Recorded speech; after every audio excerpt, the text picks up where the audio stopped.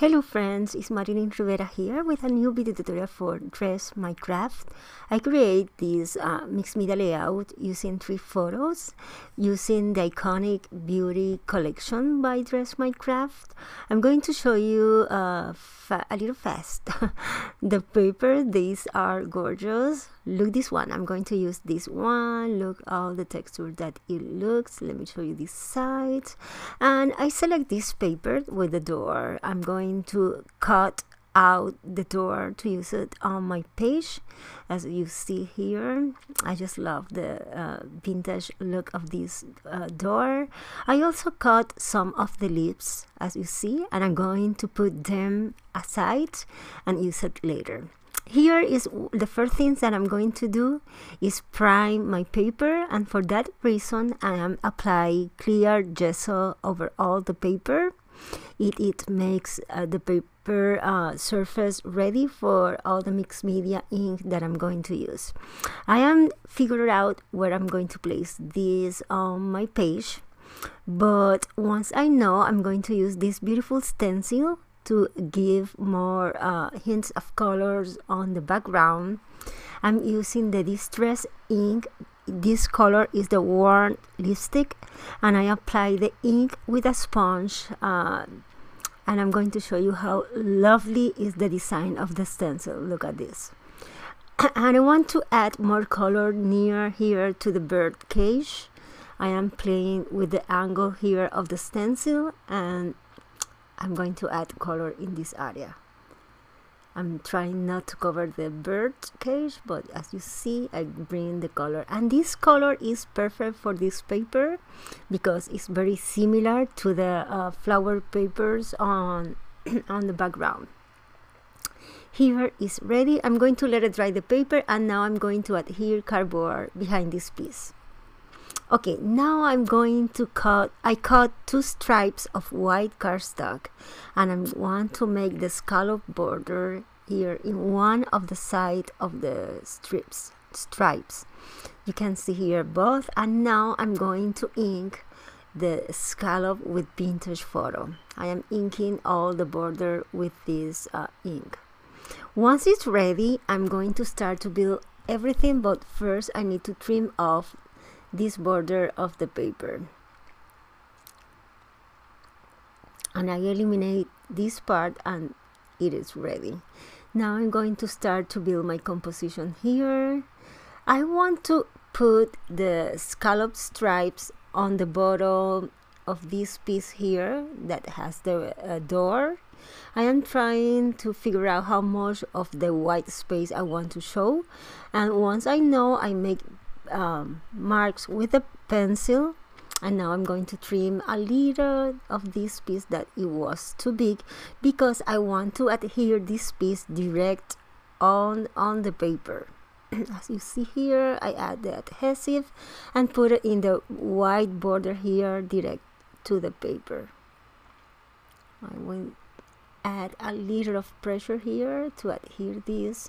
And now for the second uh, stripes. I want to adhere the, the other one over the cardboard on the back.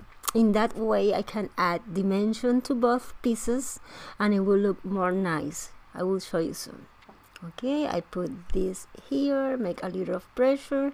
And the first one has dimensions. And once I add cardboard on the back it will give more dimension too.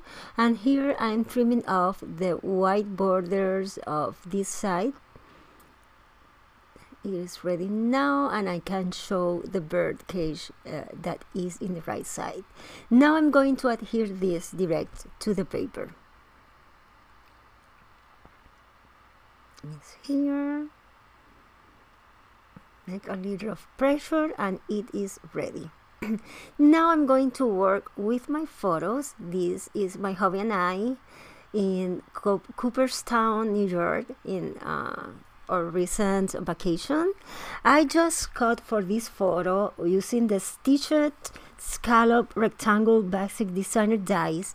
This mat that I love because it has the stitches plus the scallops and it goes perfect for my photo. I uh, cut out this sentiment from one of the uh, motif sheets from the same collection and adhere the sentiment to a piece of scrap that I have from the same uh, piece of the door. now I'm going to, uh, I make like a mat, a brown mat uh, for my sentiment and it pop up more the sentiment.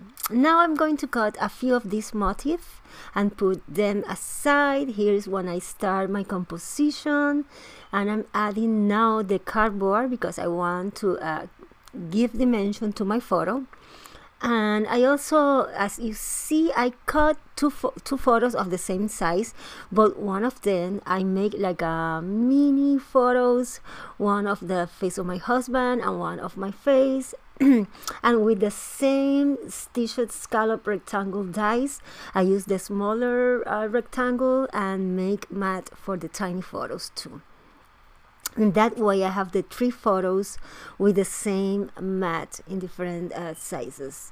Here I add in uh, the hot glue to secure the bottom part of the door and adhere all this piece to more cardboard that I put behind the scalloped stripes. In that way I gave, uh, I gave more dimension.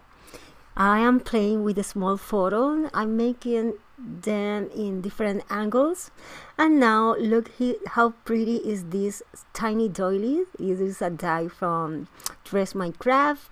I already made these beautiful flowers using the uh, the curved flowers. The flower flower making cutting dies the curved flowers are this die and I am playing with the different flowers with some of the leaves that I cut out from the paper and this leaf specific this one I cut also from the same curved flower. It comes with three different size of leaves and I'm using here the medium.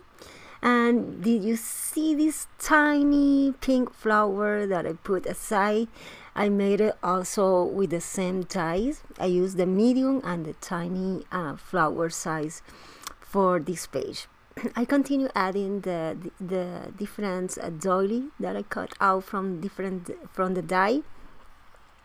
I'm playing with uh, making my composition here with the motif elements, the flowers, the leaves. I am trying to uh, recreate. Okay, I took these photos in Cooper, uh, Cooperstown, New York.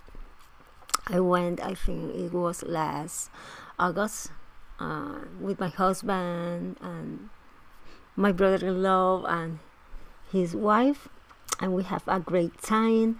And i was looking at the uh, old town and they have these uh, buildings like uh, brick buildings covered with all these leaves and flowers that inspired me to create uh, this page today. So i am trying to do something similar. I just love that in this old town has these old doors very similar to the one that i'm using in this page.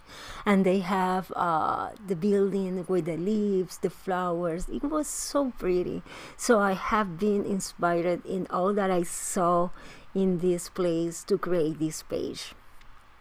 And here I continue playing with the different elements, the doilies that I cut out, the motif uh, images and everything and trying to you know to see like it is it is like a garland with uh, different leaves and flowers very similar that uh, what I saw in this town there in New York I add the, the key and the difference. And once I have all the elements placed I'm going to adhere this off camera. I am putting a flower between the two scallop stripes on the bottom. Sorry that it was uh, out of uh, you know out of uh, focus. Not out of focus out of, of the area that I'm working but I will show you soon uh, what I did on the bottom part here is where I adhere everything out of camera and now I'm, I'm going to start to add more elements to my page. I just love these pearls. They have the similar colors that one that I'm using in my page so I am trying to adhere them uh, in different size the medium the smallest and put it here and there I'm using my hot glue here to adhere uh, everything. I, I think that is because I want to uh, move fast with this. And uh, I prefer gel medium sometimes because it's more secure as adhesive but I want to uh, you know for if you use gel medium you you need to let it dry. So uh, I want to move fast. Anyway here I am adding now I want to give some sparkling tornasol effect on the background and I'm uh, select this uh, sequins. I am selecting the pink ones the pink colors all the pinks and I put it here and there on the background. And I'm also going to adhere it with the hot glue this time because I want to uh, move fast with my page. I'm going to let you all the products that I'm using in this page I will let you uh, the link down below. And you can go and and check all these uh, products. Here you can see I am checking to see if uh, okay I found this leaf but no problem. I'm going to cover now the photos. I want to give more textures on the background and I am adding white paint splatters here and there over all these. I just love the texture that it brings to the projects and the shabby chic look that it brings. And this paper as you notice on the background it has like a black uh, paint splatter. So for that reason I decided uh, after I apply the white give more of this effect on the background because it makes a nice contrast between the flowers the number on the door and all the el uh, elements here and there. So I am adding some black paint splatters I add a little more. And now let me remove this and show you. It is wet but I'm going to show you how it looks. Let me careful uh, okay. Show you. You can see here how lovely everything looks well I love it. But check here the texture. The nice that the glimmer that the sequins bring uh, you can see is a combination of vintage with shabby on the background well, I hope that you enjoy this video tutorial, that it inspire you to create something similar. Check the description box down below to, for all the material and if you like this video tutorial let me know with a thumbs up and a comment down below.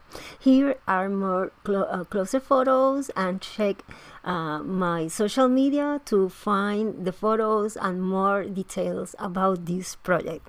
I hope you enjoy and I come back soon with a new video tutorial. Nos vemos. Bye bye